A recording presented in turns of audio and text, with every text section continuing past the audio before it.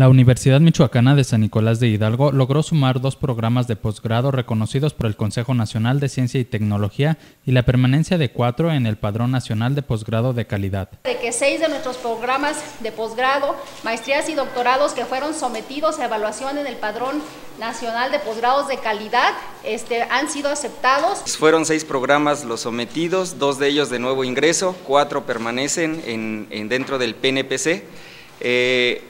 contemplando precisamente las exigencias que tenemos dentro de, esta, de este organismo que tiene que ver con CONACIP y la Subsecretaría de Educación Superior a través de la, de la SEP se suman a esta lista de 51 posgrados que tiene en el Padrón Nacional de Posgrados de Calidad la máxima casa de estudios, la maestría de Psicología y el doctorado en Ciencias e Ingeniería Física, mientras que los cuatro programas que permanecen son maestría en Enseñanza de la Historia, Ingeniería Física, así como el doctorado y maestría en Ciencias Metalurgia y Ciencias de los Materiales. Que somos evaluados por pares nacionales a través de los más altos y críticos niveles académicos contemplando precisamente estos programas, los criterios e indicadores de calidad. Eh, dentro de, estos, de estas evaluaciones llegaríamos a 51 programas dentro del PNPC, de los cuales 20 pertenecen a doctorados de calidad y como consecuencia 31 pertenecen a maestrías de calidad dentro de estos programas. Actualmente la Universidad Michoacana cuenta con 65 posgrados, 51 de ellos están en el PNPC, lo que ha permitido que el 80% de sus 1981 alumnos